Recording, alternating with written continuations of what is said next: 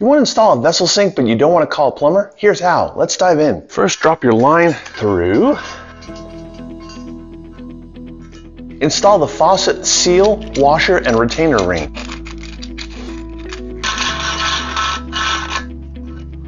Then we can tighten these screws down.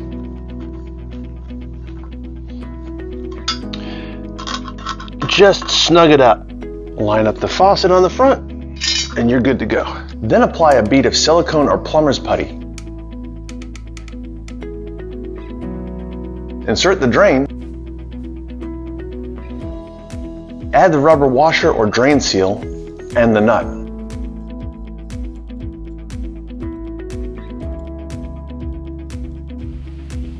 Tighten the drain nut.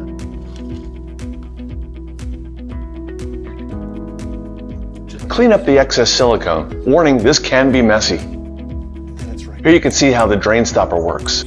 Next, apply a generous bead of silicone around the bottom edge of the vessel sink.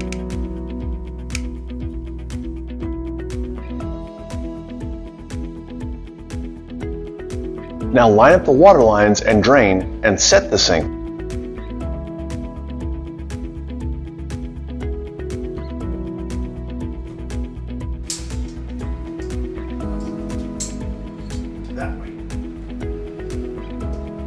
Apply a bead of silicone all around the front and sides of the vessel sink.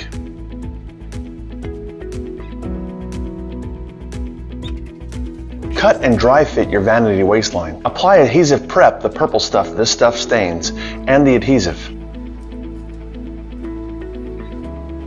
Assemble the waste line. Piece that together.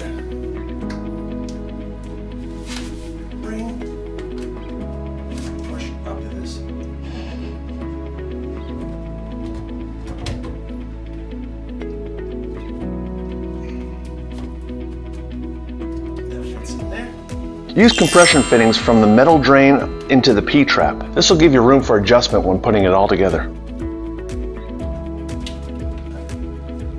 Attach the hot and cold water lines and tighten them down.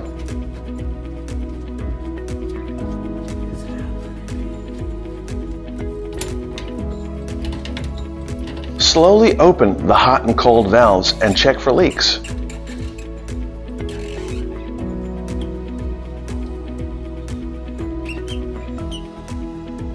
Next, test the faucet and check the waste line for drips.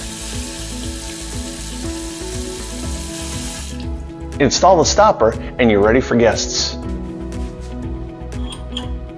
That's how to install the vessel sink and sink top. For more tips and suggestions, click the image on the screen now.